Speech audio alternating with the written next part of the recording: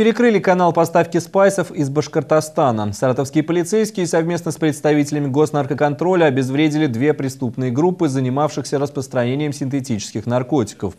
Всего же в этом году было раскрыто более 680 подобных преступлений, в том числе 62 факта распространения спайсов, 54 из них не идентифицированы.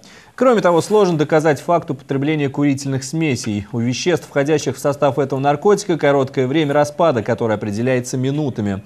В итоге в крови наркомана находят фенил и теламин, но он входит в состав некоторых лекарств. Между тем, объявления о продаже спайсов и курительных смесей доступны. Телефоны размещают на заборах и домах. Полицейскими совместно с администрацией города были выявлены и закрашены 36 подобных объявлений любой информации по лицам или по фактам реализации наркотических средств по средствах массовой информации через интернет. Здесь в первую очередь обращаться, конечно, к сотрудникам полиции по телефону 02.